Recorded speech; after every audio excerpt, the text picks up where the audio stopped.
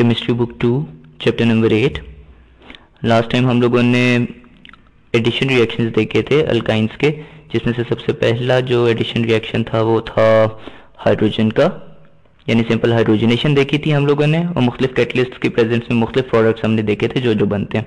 उसके बाद हम लोगों ने हेलोजिनेशन देखी थी अल्काइंस की और हम देखा था कैसे डाईहेलाइड्स और टेट्राहेलाइड्स प्रोड्यूस होते हैं अल्काइन से आपके डबल और ट्रिपल बॉन्ड्स ब्रेक होके, ठीक है? और उसके बाद फाइनली हम लोगों ने हेलोजन एसिड्स देखे थे, जो कि मार्कोनिकोज रूल को फॉलो करते हुए आपके पॉजिटिव और नेगेटिव जो रीजेंट्स होते हैं एसिड के, वो अटैच होते हैं। और आज जो हम लोग स्टार्ट करेंगे वो हम बात करेंगे वाटर से, ठीक है? In basically this is kind of hydration reaction जो आज हम डिस्कस करने जा रहे हैं, इस वजह से भी वाटर हम लोग ऐड कर रहे हैं, ठीक है? बहुत ही इंटरेस्टिंग रिएक्शन है ये। इन रिएक्शंस के अंदर होता कुछ यूँ है। सबसे पहले तो हम बात करते हैं सिंपल किसी एक अल्काइन की इथाइन की बात करते हैं। इथाइन के अंदर लेट से आप वाटर ऐड कर रहे हो तो वाटर बेसिकली H2O है आपके पास। ठीक है? और H2O को मैं स्प्लिट करके यूँ करके लिख सकता हूँ ना? H एंड OH की फॉर्म में। H आपके पास पार्शली पॉजिटिव है और आपके पास OH पार्शली नेगेटिव है, ठीक है? और इसको आप ट्रीट कर सकते हो वाटर को in the form of an acid ठीक है? कर सकते हो ना? कोई फ़र्क तो नहीं पड़ता। अब आप क्या करते हो कि ये हाइड्रोजन अटैक करेगा किसी एक कार्बन को जिसपे ज़्यादा हाइड्रोजन लगे हुए हैं। अब बिल्कुल मार्कोनिकोज रूल जो है ना मार्कोनिकोज रूल वैसे तो मार्कोनिकोज रूल जो है ये बना था अल्कीन्स के लिए, ठीक है? कि जब आप अल्कीन्स के अंदर कोई एक एसिडिक ऐड करते हो तो उसके अंदर जो आपका पॉजिटिव और नेगेटिव रीजन्स होते हैं वो कैसे अटैच होते हैं अल्कीन के मुख्तलिफ़ कार्बन लोकेशंस के ऊपर? लेकिन अब आप, आपको मैं ये बता रहा हूँ कि आप अल्काइंस के ऊपर भी कर सकते हो ठीक है? आप अल्काइंस के ऊपर भी for the sake of convenience आप ये कर सकते हो। आप यहाँ पे किसी भी हाइड्रोजन को अटैच करा दो क्योंकि फ़र्क नहीं पड़ता। क्योंकि इन दोनों पे एक एक ही हाइड्रोजन लगा हुआ है। इस कार्बन पे अटैच करो या इस पे करो, ठीक है? तो मैं इस वाले कार्बन पे आके अटैच करने लगा हूँ, ठीक है? और जब मैं इस कार्बन लोकेशन पे अटैच करूँगा तो मेरे पास जो प्रोडक्ट बन जाएगा, वो कुछ ऐसा बन जाएगा H C double bond single bond में चेंज हो जाएगा और यहाँ पे एक की बजाय दो हाइड्रोजन लग जाएँगे, ठीक है? और ये होगा कि इस वाले कार्बन आइटम पे एक पॉजिटिव चार्ज आ जाएगा। और इस पॉजिटिव चार्ज को खत्म क्या चीज़ करेगी फिर? ये वाला हाइड्रोक्सिल ग्रुप ये आके यहाँ पे आपके पास अटैच हो जाएगा। आपके पास प्रोडक्ट कुछ इस फॉर्म में बन जाएगा finally H C O H ठीक है? And then double bond and then C H two अब ये जो आपके पास प्रोडक्ट बना है, अगर आप इस पर गौर करो, यहाँ से आगे सारी, इससे पहले मैं एक तरह फिर से रिवाइज करा देता हूँ, क्योंकि इससे आगे हम ये वाली बात दोबारा नहीं करेंगे। आपके पास एक अल्काइन है, ठीक है? आपने उसके अंदर वाटर ऐड किया है, और वाटर ऐड जब आपने किया है तो वो इस फॉर्म में ऐड होगा कि हाइड्रोजन जाके अटैक करेगा किसी एक कार्बन एटम को जिसपे ज़्यादा हाइड्रोजन लगे हुए हैं पहले से ही। और वो और ज़्यादा हो जाएँगे, एक और हाइड्रोजन आके अटैच हो जाएगा। इस केस में ये था कि दोनों के ऊपर एक एक ही हाइड्रोजन था तो ये जिस मर्ज़ी के साथ जाके अटैच हो जाए, कोई फ़र्क नहीं पड़ता। हाइड्रोक्सिल जाके उसके साथ अटैच होगा, जिसके पास कम हाइड्रोजन हो, ठीक है? और कम हाइड्रोजन इस केस में कोई फ़र्क नहीं पड़ता, दोनों के पास एक जितने ही थे तो वो इस वाले के साथ आके अटैच हो जाएगा, ठीक है? तो आपके पास बनता कुछ इस तरह की चीज़ बन जाती है C H two single bond double bond C H ठीक है? और उसके आगे आपके पास इस कार्बन के ऊपर आके एक ओ एच लगा हुआ है। ठीक है? अब अगर आप गौर करो, ये जो C H two double bond C H चीज़ है, ये अगर आपको याद हो, मैंने आपको लास्ट टाइम एक दफ़ा पहले भी बताया था, ये होता है विनाइल ग्रुप इसको हम क्या बोलते हैं? विनाइल ग्रुप और ये आपके पास एक साथ ओ OH लगा हुआ है। ओ OH जो होता है ओ OH की प्रेजेंस आपको ये बता रही है कि ये एक अल्कोहल है। ठीक है? तो ये आप इसको यूँ बोल सकते हो, ये आपके पास एक विनाइल अल्कोहल है। ठीक है? Vinyl alcohol. आपके पास एक विनाइल अल्कोहल बन गई है और ये विनाइल अल्कोहल पे अगर आप गौर करो ना, ये जो ये वाला जो कार्बन एटम है, इसके साथ एक डबल बॉन्ड भी बना हुआ है, ठीक है? और इसके साथ यहाँ पे एक हाइड्रोक्सिल ग्रुप भी अटैच हुआ हुआ है, ठीक है? यानी ये वाला जो कार्बन एटम है, ये बहुत ही परेशानी में ठीक है? इसके साथ बड़ी ज़्यादा हो रही है। इसके साथ एक तरफ़ को तो डबल बॉन्ड भी अटैच हो गया, दूसरी तरफ़ को आके एक हाइड्रोक्सिल भी अटैच हो गया, ठीक है? तो ये अपने आप को ना बड़ा अनईजी फील करता है। अनईजी फील करता है, ये अपने आप को अनस्टेबल फील करता है। और स्टेबलाइज होने के लिए क्या करता है कि अपनी आपको रीशेप कर देता है। रीशेपिंग ये कैसे करेगा? ये रीशेपिंग या रीअरेंजमेंट ये करता है। रीअरेंजमेंट रीअरेंजमेंट को इस टाइप से ये करेगा कि ये C H two double bond C single bond H और फिर ये ओ OH लगा हुआ है ना? तो ये अपने आप को इस तरीके से इस ओ OH को भी मैं स्प्लिट करके लिख देता हूँ, ताकि ज़्यादा इजीली आपको समझ आ जाए। ये कुछ ऐसी चीज़ है ना? तो ये ये होता है कि जो ओ OH है यहाँ से, ये जो डबल बॉन्ड है, ये अपने आप को ब्रेक करता है। और ये वाला बॉन्ड यहाँ पे शिफ्ट हो जाता है, ठीक है? ये हाइड्रोजन अपने आप को यहाँ से ब्रेक करता है और वो बॉन्ड वहाँ पे शिफ्ट हो जाता है। तो हाइड्रोजन आप यहाँ से हटा दो और इस वाले बॉन्ड को आप यहाँ पे शिफ्ट कर दो। और इस वाले बॉन्ड को जब आप यहाँ पे शिफ्ट करोगे तो ये आपके पास क्या चीज़ बन जाएगी? सी डबल बॉन्ड ओ और अब प्रॉब्लम आपके पास अब क्या रह गया कि आपके इस कार्बन के बॉन्ड ज़्यादा हो रहे हैं। तो ये क्या करेगा कि अपने इस वाले बॉन्ड को शिफ्ट कर देगा, इस तरफ़ को। और इस वाले बॉन्ड को जब ये शिफ्ट करेगा तो यहाँ पे आपके पास एक बॉन्ड कम हो जाएगा।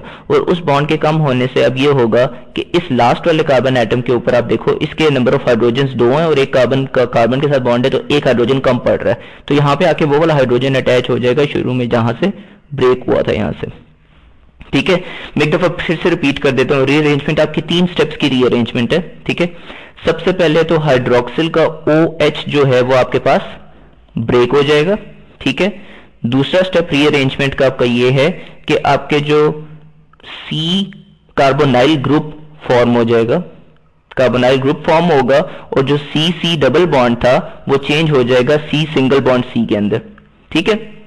ये आपका दूसरा स्टेप हो गया और तीसरा स्टेप आपका ये है कि एक कार्बन एटम के कॉर्नर पे कोई एक कार्बन एटम है जिसके ऊपर एक हाइड्रोजन कम पड़ रहा होता है, उसके साथ जाके हाइड्रोजन अटैच हो जाता है। ठीक है? और ये हमेशा यही तीन स्टेप्स होंगे आपके पास, ठीक है? तो मैं एक दफ़ा फिर बता देता हूँ। सबसे पहले स्टेप में ओ OH जो है, ये ब्रेक होगा आपका।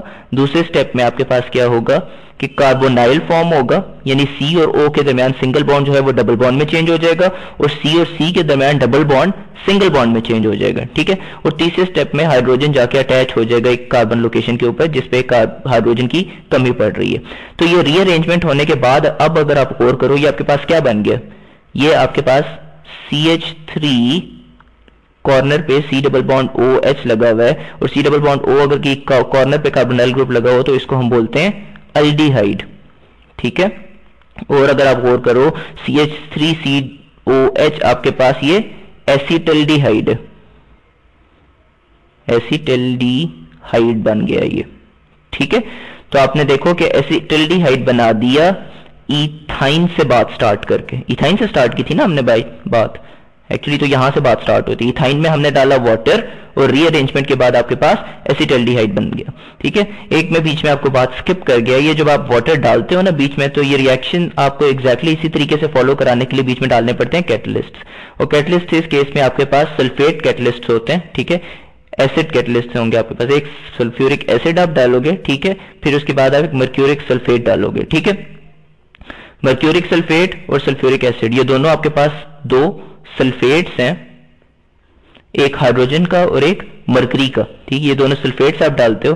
हाइड्रोजन का सल्फेट इस वजह से बिकॉज़ इस पूरे फॉर्मेशन के दौरान आपको प्रोटॉन्स की ज़रूरत पड़ती है, H प्लस की ज़रूरत पड़ती है। तो वो सल्फ्यूरिक एसिड का H प्लस जो होता है, वो इसमें पार्टिसिपेट करता है during the reaction intermediate steps के अंदर। वो हमारे, इसका हिस्सा नहीं है कि ये मैकेनिज्म क्या है, इस रिएक्शन का। लेकिन फ़िलहाल ये आपको ऊपर ऊपर से सारी बातें पता होनी चाहिए जो मैं आपको बता रहा हूँ। अब हम ऐसा करते हैं कि कोई और रिएक्शन लेते हैं। हम अब इथाइन नहीं लेते, बल्कि हम एक जनरल कार्बोनाइल कंपाउंड ले लेते हैं। R C triple bond C and then H ठीक है? अगर इस तरह का आप कोई कंपाउंड ले लेते हो बल्कि इस कोने पे मैं एच नहीं लगाता, यहाँ पे मैं क्या लगा देता हूँ? यहाँ पे मैं एक सी एच थ्री लगा देता हूँ। ठीक है? और इसके अंदर अगर मैं वाटर ऐड करूँ तो अब आप बताओ अब क्या होगा? अब ये होगा कि वाटर का एच और ओ OH वाला जो पार्ट है, वो अगेन क्या करेगा? अटैक करेगा इस वाले पूरे कंपाउंड को। बल्कि पहले सॉरी पहले मैं आपको सिंपल ही पढ़ा देता हूँ, क्योंकि वो ज़्यादा कॉम्प्लिकेट हो जाएगा। सी एच लेट से अब वाटर जो है, वो एच प्लस और ओ OH माइनस इसका H प्लस वाला हिस्सा अटैक करेगा किसी ऐसे कार्बन को जिसके पास पहले ही ज़्यादा हाइड्रोजन है। ठीक है? इसको जाके अटैच करेगा और ये सी एच टू हो जाएगा। ठीक है? और साथ में ये ट्रिपल बॉन्ड डबल बॉन्ड में चेंज हो जाएगा और इस कार्बन पे एक पॉजिटिव चार्ज आ जाएगा और अब ये एक कार्बोकेटाइन बन गया। ठीक है? अब ये होगा कि कार्बोकेटाइन जब बन गया तो हाइड्रोक्सिल जो है ये अब अटैक करेगा इस कार्बोकेटाइन को और यहाँ पे आके अपने आप को अटैच कर लेगा। ठीक है? यहाँ पे आपके पास एक आके हाइड्रोक्सिल अटैच हो गया। ठीक है? अब आपके पास अगर गौर करो, अब आपके पास एक अदर अल्कोहल बन गया है, जो कि विनाइल अल्कोहल नहीं है। ये आपके पास क्या चीज़ है? है एक अल्कोहल ही, लेकिन विनाइल नहीं है। लेकिन इस अल्कोहल में भी प्रॉब्लम वही है। प्रॉब्लम क्या है इस अल्कोहल में? आप आइडेंटिफाई कर सकते हो प्रॉब्लम क्या है। प्रॉब्लम ये है कि ये वाला कार्बन एटम बहुत टेंशन में है। इसके साथ दो अदर डबल बॉन्ड्स भी बने हुए हैं और एक हाइड्रोक्सिल ग्रुप भी आके इसी के साथ अटैच हो गया और दूसरी तरफ़ इसने एक चेन को भी सपोर्ट किया हुआ है। तो ये कार्बन एटम ना बड़ा टेंस है, ठीक है? ये क्या करेगा? अपने आप को रीअरेंज करने की कोशिश करेगा। रीअरेंजमेंट के तीन स्टेप्स मैंने आपको बताए थे।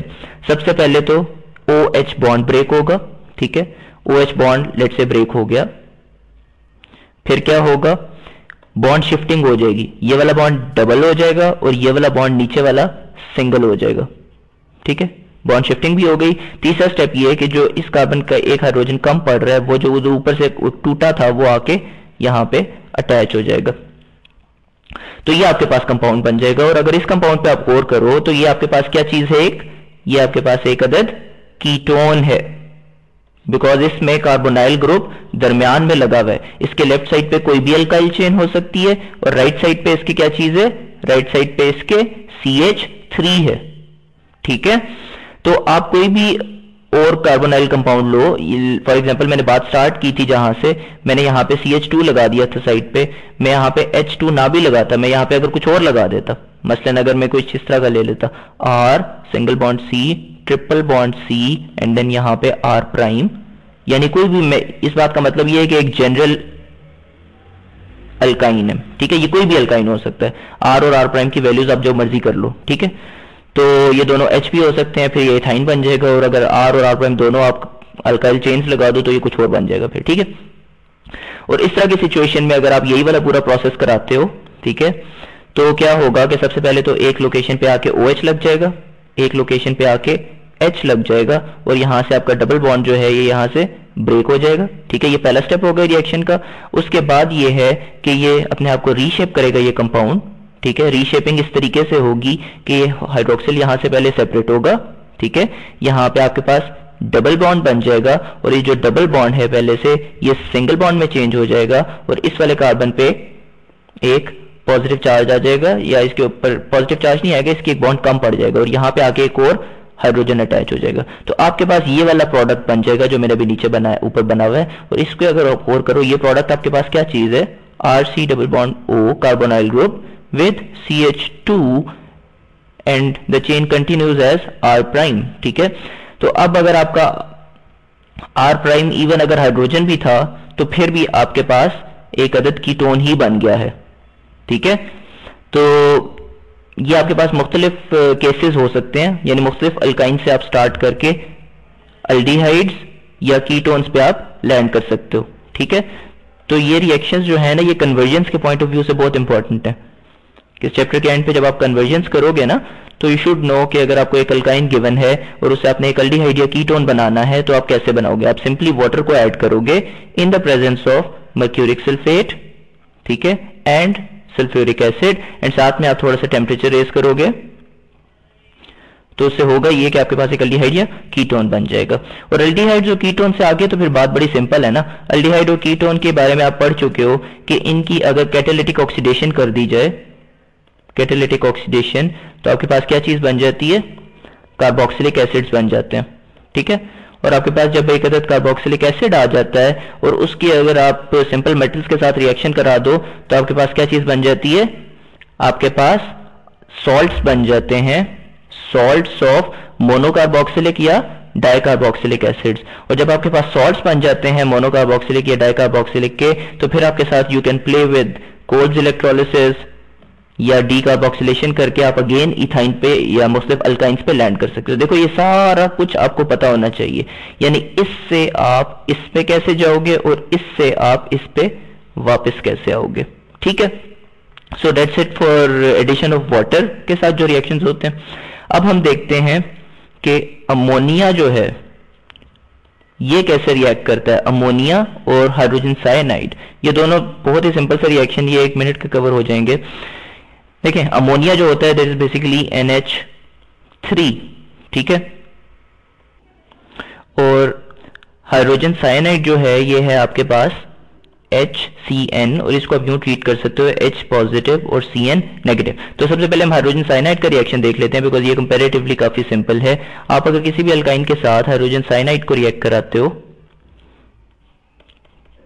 एच प्लस और सी एन माइनस सबसे पहले आप क्या एक्सपेक्ट करते हो, क्या होगा? यह हाइड्रोजन अटैक करेगा किसी एक कार्बन आइटम को, ठीक है? लेट से ये इस वाले कार्बन आइटम के साथ आके अटैच हो जाएगा सी एच टू और ये डबल बॉन्ड है ट्रिपल बॉन्ड ये डबल बॉन्ड के अंदर चेंज हो जाएगा, ठीक है? और डब ट्रिपल बॉन्ड डबल बॉन्ड के अंदर चेंज हो जाएगा तो इस वाले दूसरे वाले कार्बन आइटम के ऊपर एक पॉजिटिव चार्ज आ जाएगा, ये कार्बोकेटाइन बन जाएगा, और फिर आपके पास ये वाला साइनाइड आके इसके ऊपर अटैच हो जाएगा, ठीक है? और इन शॉर्ट आपके पास जो प्रोडक्ट बनेगा, वो आपके पास ये चीज़ बन जाएगी। ठीक है? और ये जो प्रोडक्ट आपके पास अभी बना है, इस पर अगर आप गौर करो, ये क्या चीज़ बन गई है? C H two double bond C H और इस सी एच के ऊपर एक सी एन यानी सायानो ग्रुप लगा हुआ है, ठीक है? इसको आप क्या बोलोगे? ये देखो C H two C H में आपको पहले काफ़ी दफ़ा बता चुका हूँ, ये क्या चीज़ है? C H two C H आपके पास होता है विनाइल ग्रुप विनाइल ग्रुप ठीक है? और विनाइल के साथ आपका साइनाइड लगा हुआ है, ठीक है? तो आप इसको बोलोगे विनाइल साइनाइड तो आपके पास एक अदद विनाइल साइनाइड बन गया। अब एक स्पेशल प्रॉपर्टी है सायानो ग्रुप्स की, कि जब भी सी एन किसी कंपाउंड के साथ लगा हुआ होता है तो ऐसे कंपाउंड्स को एज एन ओवरऑल हम लोग बोलते हैं नाइट्राइल्स ठीक है? किसी कंपाउंड के एंड पे अगर सी एन लगा हुआ है तो उनका जनरल नेम जो कॉमन नेम जो है, वो है हमारे पास नाइट्राइल्स ठीक है? तो फॉर एग्ज़ाम्पल अगर किसी के सी ओ एच लगा हुआ है तो हम उसको बोलते हैं ना अल्डीहाइड ये उसका नाम है। इसी तरीके से अगर किसी पे सी एन लगा है तो हम उसको बोलते हैं नाइट्राइल ये बाय डेफिनेशन हम लोगों ने इनका नाम रखा हुआ है। तो इसको हम मैं बोलूँगा अब ये कि आपके पास एक नाइट्राइल बन गया और ये आपके पास एक्रेलो नाइट्राइल इसका जनरल नेम जो है एक्रेलो नाइट्राइल ये जो ऊपर हमारे पास प्रोडक्ट बना है, इसका सेकेंड नेम जो आपके पास है, वो है एक्रेलो नाइट्राइल ठीक है? और ये वाली जो अभी आपको मैंने रिएक्शन बताया है, इसके अंदर जो आपके पास कैटलिस्ट यूज़ हो रहा है कैटलिस्ट का ट्रैक रखना बहुत ज़रूरी है, आपको पता होना चाहिए कौन सा केस केस में कौन से कैटलिस्ट आपके पास यूज़ हो रहे हैं। इसमें आपके पास कॉपर क्लोराइड यूज़ हो रहा है। Copper chloride along with ammonium chloride आपके पास। अमोनियम क्लोराइड और कॉपर क्लोराइड दोनों आपके पास सॉल्ट्स हैं, ठीक है? और ये आपके पास क्यूपरस क्लोराइड है। क्यूपरस क्यूपरिक क्लोराइड नहीं है आपके पास ये। क्यूपरस क्लोराइड है और सी यू सी एल आप इसको कह सकते हो C U two C L two भी कह सकते हो।